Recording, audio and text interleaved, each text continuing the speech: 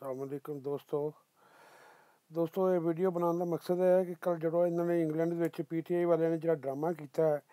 ਕਾਇਦੇਨੀ ਜਿਹੜੇ ਨੇ ਉਹਨਾਂ ਦਾ ਉੱਥੇ ਗਰੁੱਪ ਹੈਗਾ ਜਿਹੜਾ ਇਹਨਾਂ ਨੂੰ ਪੈਸੇ ਵੀ ਦਿੰਦੇ ਰਹੇ ਨੇ, ਉਹਨਾਂ ਦੇ ਬੰਦੇ ਇਕੱਠੇ ਕਰਕੇ ਇਹਨੇ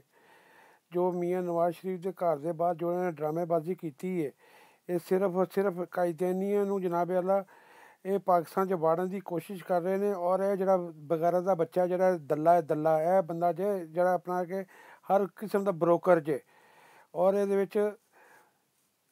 ਖੁਦਾ ਦੀ ਕਸਮ ਖਾ ਕੇ ਨੇ ਕਿ ਇਹ ਕਾਇਦੇਨੀ ਐਡੇ ਫੈਲਣ ਦੇ ਨੇ ਇਹ ਇਮਰਾਨ ਖਾਨ ਦੀ ਵਜ੍ਹਾ ਤੋਂ। ਇਹਨਾਂ ਨੂੰ ਜਿਹੜਾ ਲਗਾਮ ਨਾ ਦਿੱਤਾ ਗਿਆ, ਇਹਨਾਂ ਨੇ ਜਨਾਬ ਅੱਲਾ ਪਾਕਿਸਤਾਨ ਦਾ ਬੇੜਾ ਕਰ ਕਰ, ਪਹਿਲੇ ਕਰਨ ਦਿੱਤਾ, ਡੇਢ ਸਾਲ ਦੇ ਵਿੱਚ ਤੇ ਹੁਣ ਹੋਰ ਕਰਨਗੇ। ਇਸ ਵਾਸਤੇ ਜਿਹੜੇ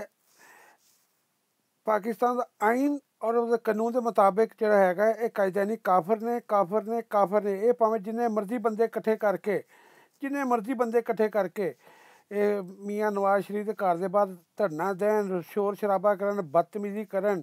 ਕਿਉਂਕਿ ਇਹਨਾਂ ਦੇ ਅੰਦਰ ਇਨਸਾਨ ਨਾਂ ਦੀ ਕੋਈ ਚੀਜ਼ ਨਹੀਂ, ਦੀਨ ਦੇ ਨਾਂ ਦੀ ਕੋਈ ਚੀਜ਼ ਨਹੀਂ,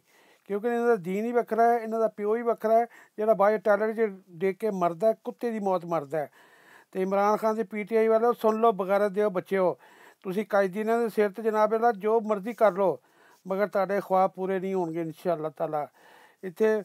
ਕਾਲੀ ਕਮਲੀ ਵਾਲੇ ਦੇ دیਵਾਨੇ ਰਹਿੰਦੇ ਨੇ ਪਾਕਿਸਤਾਨ ਦੇ ਵਿੱਚ। ਤੁਹਾਨੂੰ ਜਨਾਬ ਜੀਣ ਦਾ ਹੱਕ ਵੀ ਨਹੀਂ ਦੇਣਗੇ, ਯਾਦ ਰੱਖਣਾ। ਉਸ ਵਕਤ ਤੋਂ ਡਰੋ, ਜਦੋਂ ਕਾਲੀ ਕਮਲੀ ਵਾਲੇ ਦੇ دیਵਾਨੇ ਸੜਕਾਂ ਤੇ ਆਏ ਤੇ ਤੁਹਾਡਾ ਹਸ਼ਰ ਨਸ਼ਰ ਕਰ ਦੇਣਗੇ। ਤੇ ਮੈਨੂੰ ਇਹ ਦੱਸਣਾ, ਮੈਨੂੰ ਫਖਰ ਕਰ ਰਿਹਾ ਕਿ ਮੈਂ ਇਹਨਾਂ ਕਾਇਦਿਆਂ ਦੇ ਖਿਲਾਫ ਵੀਡੀਓ ਬਣਾ ਰਿਹਾ ਔਰ ਜਿਹੜਾ ਜਿਹੜਾ ਵੀਡੀਓ ਸੁਣੇ ਮੇਰਾ ਭਰਾ